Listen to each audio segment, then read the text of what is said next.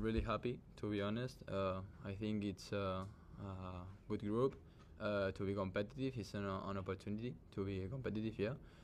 Uh, and nothing else. We, we will face it uh, with hard work as always, as every week, and yeah, uh, happy.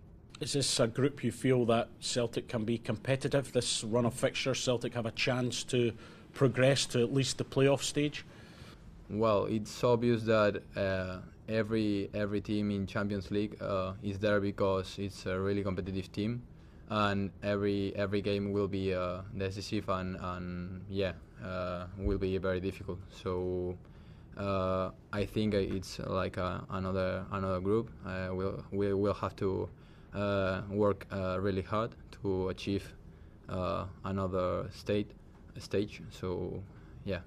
Is this part of the reason you wanted to come to Celtic because of Champions League nights here at Celtic Park? Yeah, of course, of course. To be honest, uh, I've heard a lot about uh, Celtic Park, its crowd, and yeah, their fans. Uh, there's a lot of uh, a really good environment here, uh, and I'm just uh, looking forward to to live it in, in real life. What else was it about this move that appealed to you? Well, uh, it's Celtic uh, Football Club. Uh, I don't know what I can say. It's an, an historic club uh, that plays uh, a really good uh, football, so I think it's an attractive opportunity for me. What can the Celtic fans expect from you and your style of play?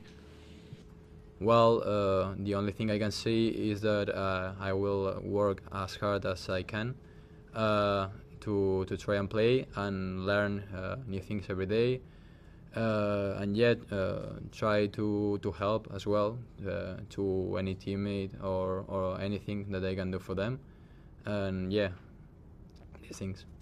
It's a, a very big game this this weekend as well. Are you ready to to take part in that if, if selected? Yeah, yeah, yeah. I, I, I know uh, what this game here in, in Scotland is, and I'm just looking forward to, to live it uh, and yeah, yeah.